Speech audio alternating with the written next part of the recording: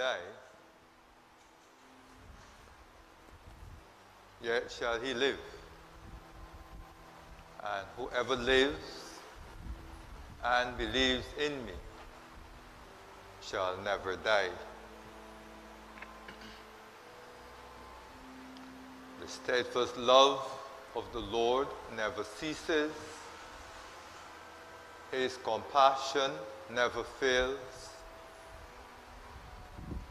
Every morning they are renewed.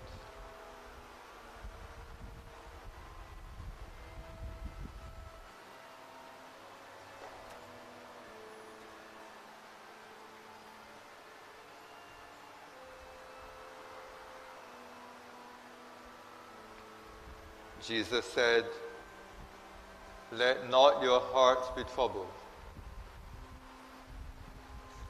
Believe in God, believe also in me. I am sure that neither death, nor life, nor angels, nor principalities, nor powers, nor things present, nor things to come, nor height, nor depth, nor anything else in all creation will be able to separate us from the love of God in Christ Jesus our Lord.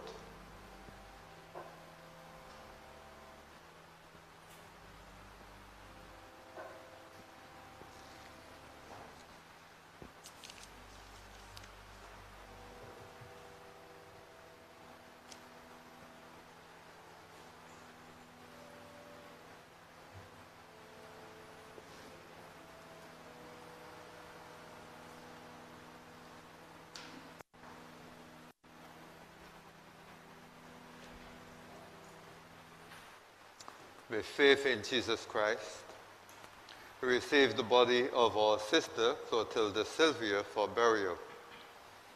Our sister was washed in holy baptism and anointed with the Holy Spirit. Let us therefore with confidence pray to God, our Heavenly Father, the giver of life, that will raise her to perfection in the company of the saints. The Lord be with you. Let us pray.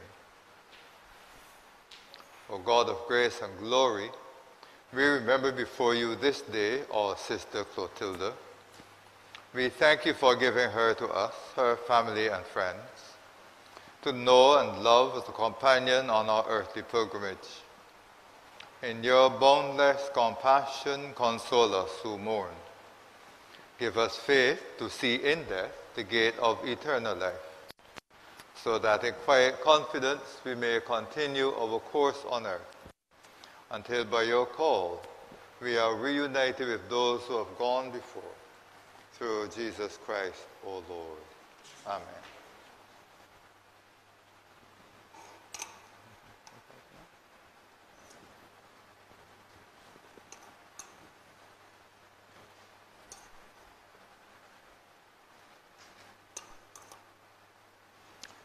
The hymn number 223, hymn number 223.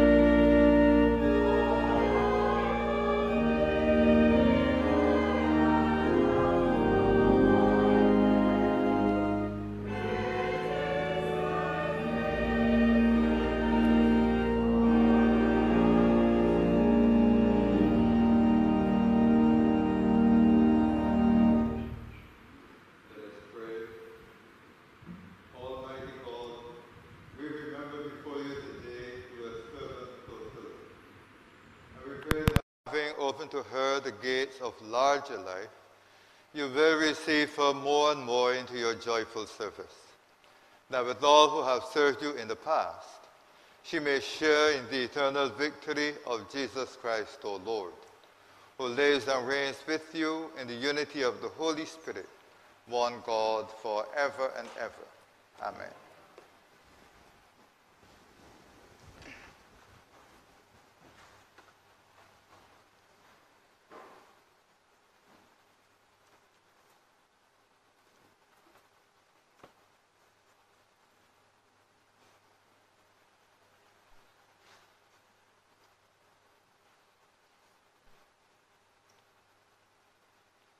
This morning reading lesson is from Isaiah 61, 1 to 3. The Spirit of the Lord is upon us, because the Lord has anointed me.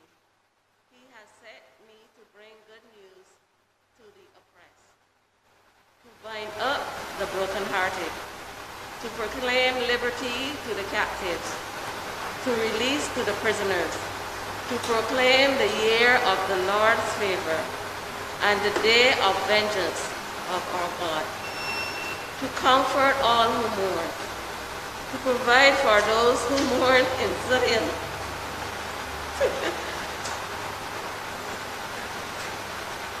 to give them a garland instead of ash, the oil of gladness instead of mourning, the mantle of praise instead of a faint spirit. They will be called oaks of righteousness, the planting of the Lord, to display his glory. Here ends this morning's reading. The Psalm number 23, the 23rd Psalm.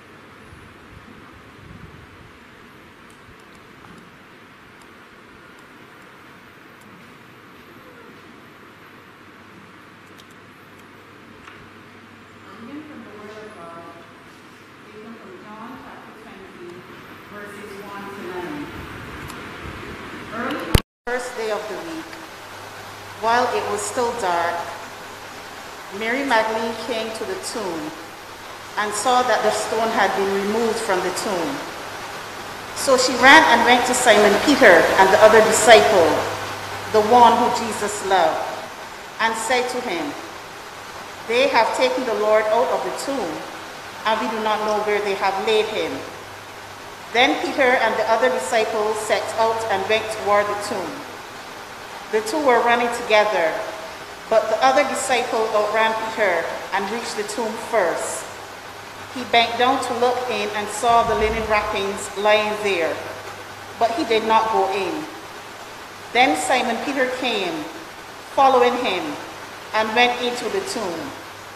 He saw the linen wrappings lying there, and the cloth that had been on Jesus' head, not lying with the linen wrappings, but folded, but rolled up in a place by itself. Then the other disciple, who reached the tomb first, also went in. And he saw and believed. For as yet they did not understand the scripture, that he must rise from the dead. Here ends the reading. The hymn, number 175 and 175.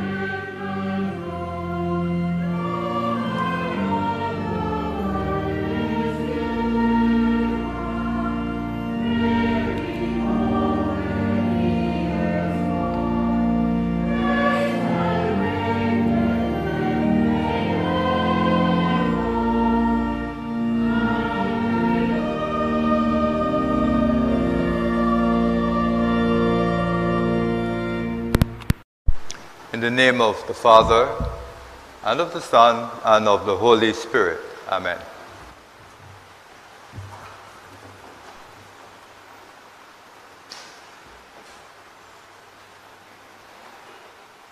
The fifth verse of the 16th Psalm. Psalm 16 and verse 5. The Lord is my chosen portion and my cup. You hold my lot. The Lord is my chosen portion and my cup. You uphold my lot. Psalm 16 is a, a, a declaration, a declaration of trust in God Almighty. It is one of total commitment to our Lord and our God, total commitment to Yahweh. In this psalm, the writer and some of the language cause experts on the psalm to say that this particular poem might have been penned by one of Uh, priests of the temple. He says, Protect me, O God, for in you I take refuge. I say to the Lord, You are my Lord. I have no good apart from you. And so this psalm acknowledges and places emphasis on the goodness of God. The goodness of God. That God Almighty is the Holy One, and that his soul will delight in the Lord. But there is more. Because, of course, trust in the Lord is an indication that things will go well. And of course, in the Old Testament, there is that understanding that if God is on your side, all things will go well. But within the context of the psalm, there is, as I mentioned, that sense of trust and that understanding that whatever occurs in the life of the psalmist will be an opportunity for trust in God, whatever occurs. If good occurs, fine. If it is not so good, also fine. Whatever happens, the psalmist says, Therefore, my heart is glad and my soul rejoices. The body will also rest secure in the presence of Yahweh. But one of the verses of this psalm that jumps out at us this morning is from verse 5 The Lord is my chosen portion and my cup.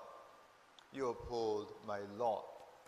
And I think that it is the notion or understanding of cup that has captured the imagination of commentators on this psalm.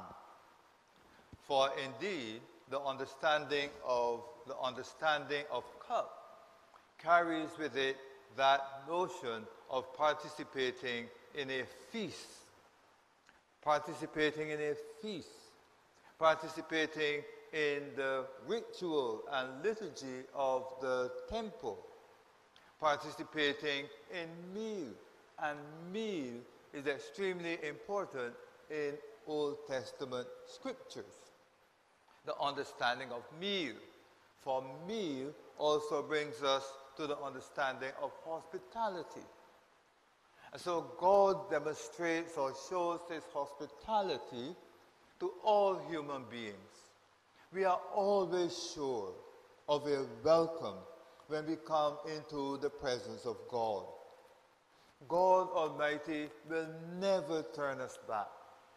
God Almighty will never turn his back upon us. God Almighty will never turn us away. No matter who we are, no matter what we have done, God Almighty will never turn us away. And the psalmist seems confident about this. The Lord is my chosen portion and my cup. The notion of cup also has tremendous importance for the New Testament as well. For indeed, Jesus saw his participation in that to which God Almighty had called him as cup. There was a time when James and John came to Jesus and they asked him a question. They asked him a favor, a favor. They asked of Jesus a favor. And this was the favor. Grant that we may sit one at your right hand and one at your left in your kingdom. Now the 12, there are 12 apostles, but these two disciples, these two apostles, want a special position. It's so human, a story, so human. We see this, we see this in humanity all the time.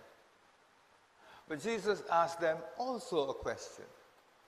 Are you able to drink the cup that I am to drink? Are you able to drink the cup that I am to drink? And they said to Jesus, We are able. We are able. And indeed, indeed, in some sense, they would drink of that cup.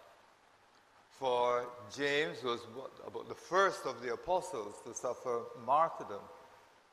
And John would live a long life, but he would live in exile for a very, very long time. A very long time.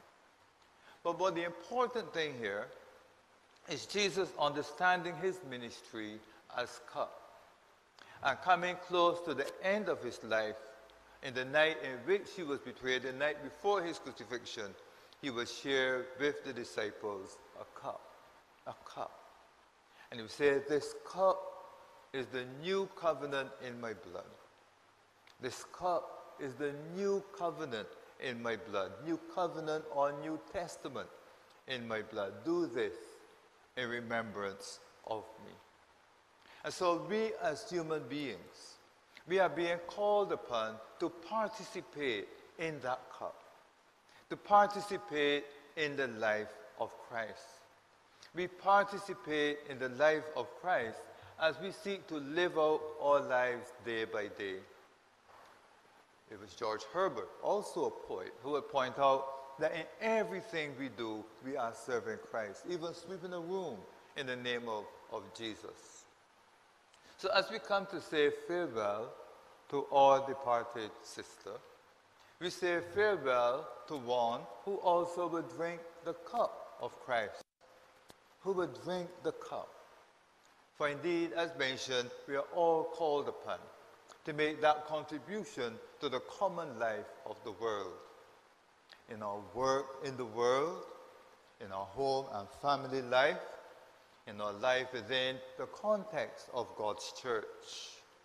Giving thanks to God Almighty for all that He has done for us and for all that He has given to us. And so we drink of that cup whenever we point others to the life of Christ, whenever we point others towards Jesus, towards His church. Within the context of this family, then persons who have an understanding of what it means to be members of Christ's church. So as we say farewell to her this morning, we say farewell and thanks to God for all that Clotilda has been able to teach us, all that she has been able to demonstrate, all those things for which she was a good and wonderful example. Of course, dealing with death is not easy. It is a very, very difficult thing to deal with the death of a loved one. But Jesus promised us, has promised us, that he will never leave us nor forsake us.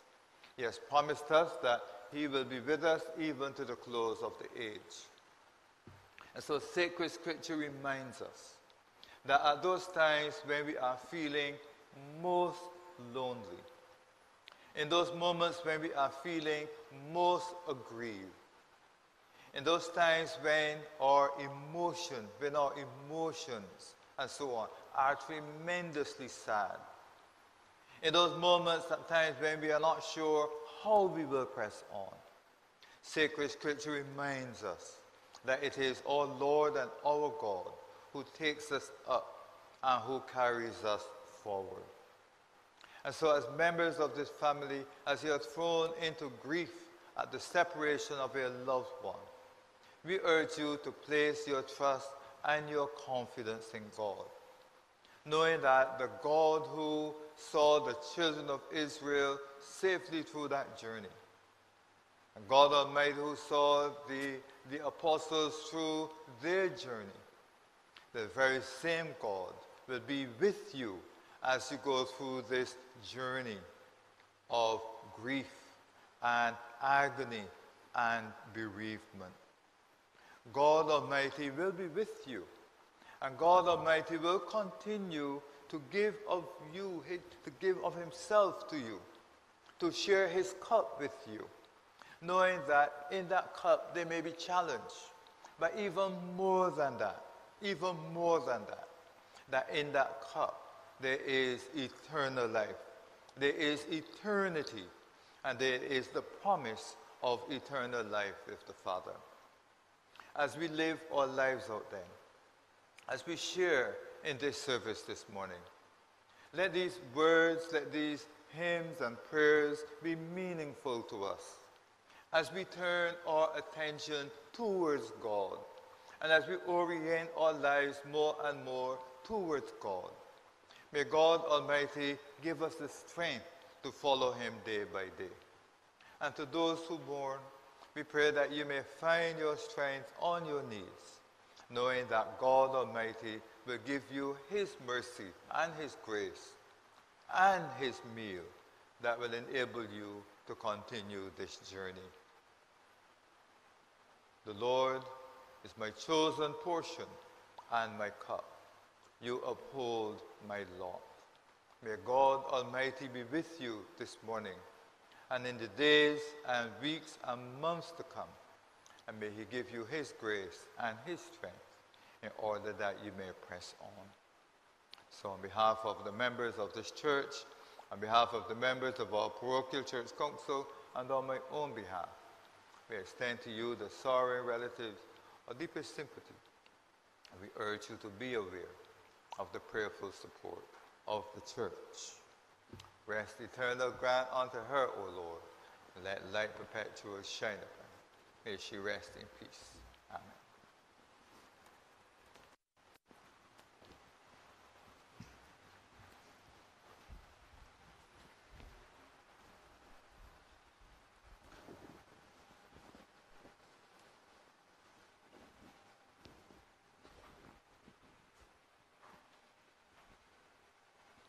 Let us confess the faith into which we were baptized as we say the Apostles' Creed together. I believe in God, the Father Almighty, maker of heaven and earth. I believe in Jesus Christ, his only Son, our Lord.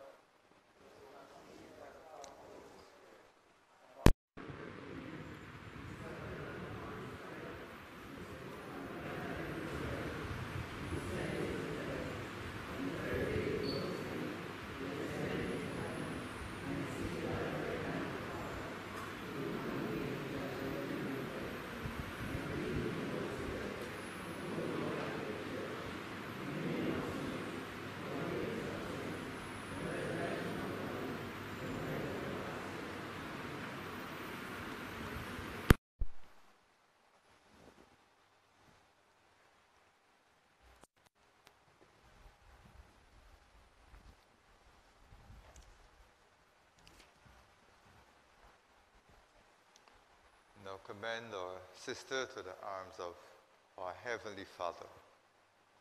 Give rest, O Christ, to your servant with your saints, where sorrow and pain are no more, neither sighing, but life everlasting. You only are immortal, the creator and maker of all, and we are mortal, formed of the earth, and to earth shall we return. For so did you ordain when you created me, saying, You are dust, and to dust you shall return. All of us go down to the dust, and even at the grave we make our song, Alleluia, Alleluia, Alleluia. Give rest, O Christ, to your servant with your saints, where sorrow and pain are no more, neither sighing but life everlasting. Amen. Lord, have mercy upon us.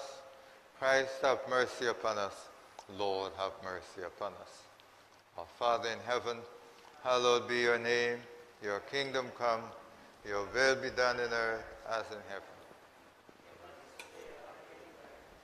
And forgive us our sins as we forgive those who sin against us.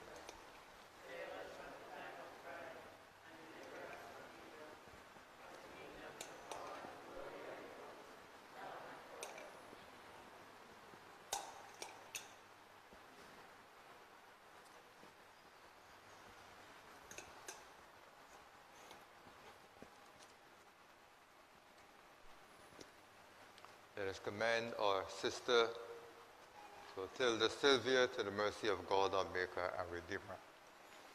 Deliver your servant Clotilda, O sovereign Lord Christ, from all evil, and set her free from every bond, that she may rest with all your saints in the eternal habitations, where with the Father and the Holy Spirit you live and reign one God forever and ever. Amen. Into your hands, O merciful Savior, we commend your servant Clotilda. And knowledge we humbly beseech you, a sheep of your own fold, a lamb of your own flock, a sinner of your own redeeming.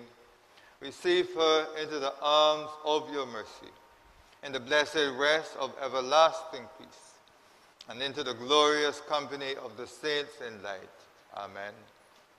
Rest eternal grant unto her, O Lord, and let light perpetual shine upon her. Soul and the souls of all the faithful departed, to the mercy of God, rest in peace. Amen. The hymn number 497, 497.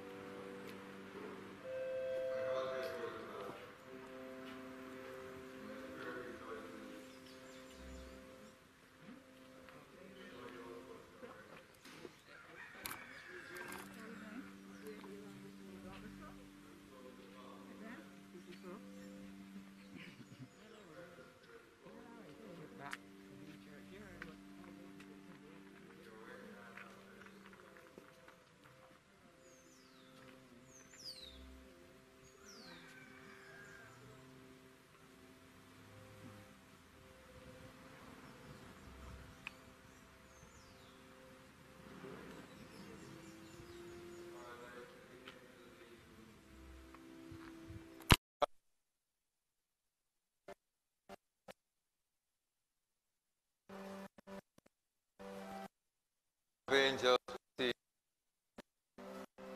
and love you have rest, rest eternal.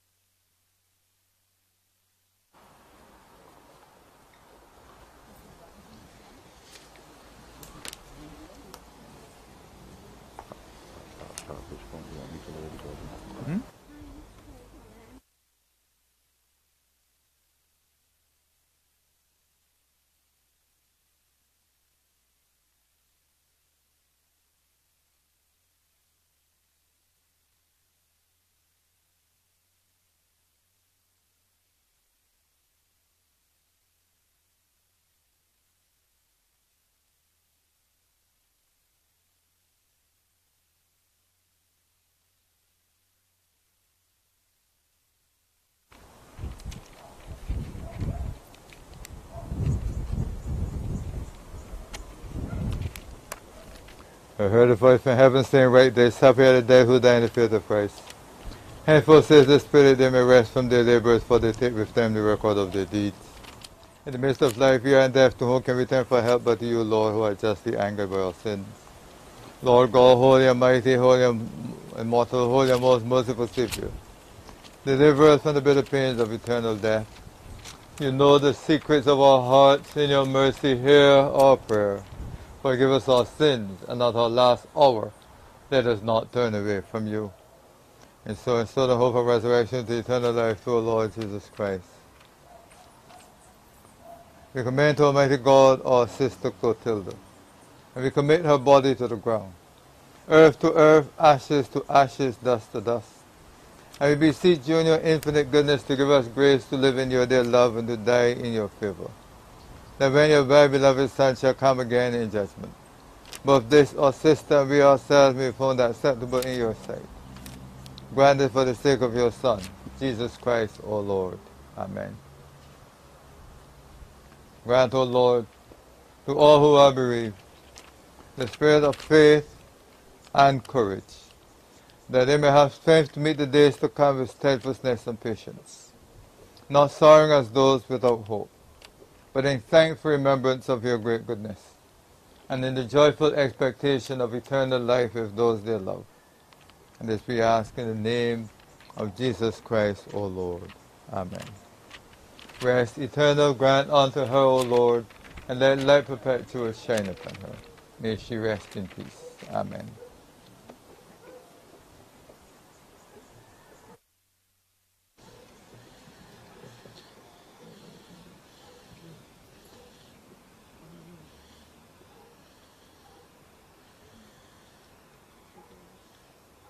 May peace like a river.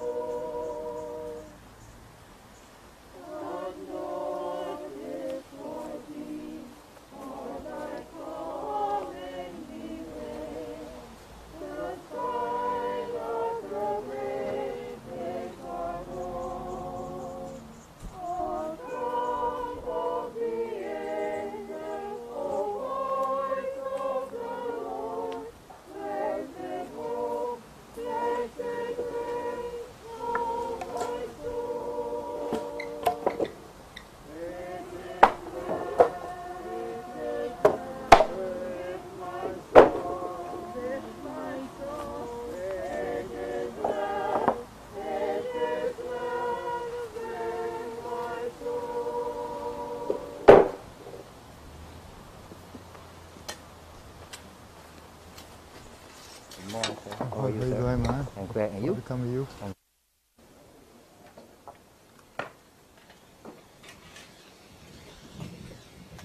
When the trumpet of the Lord.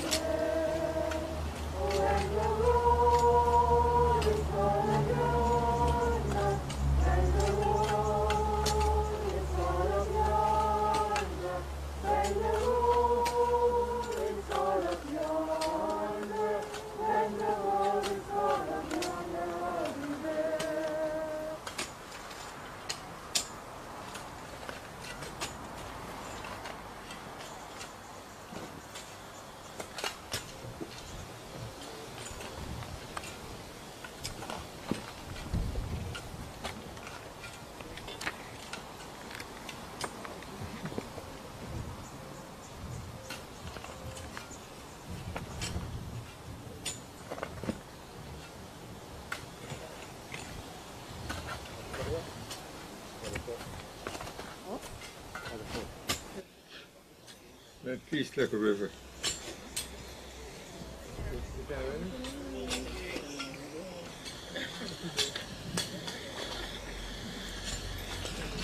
Amazing grace.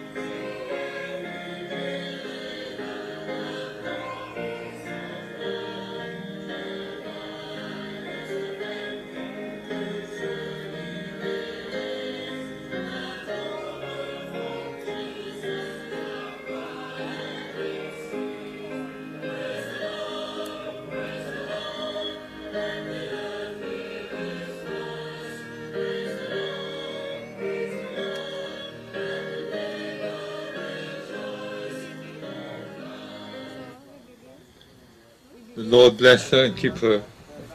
The make, Lord make his face to shine upon her and be gracious to her. The Lord lift up his countenance upon her and give her peace. Amen. The Lord be with you. Let us depart in peace.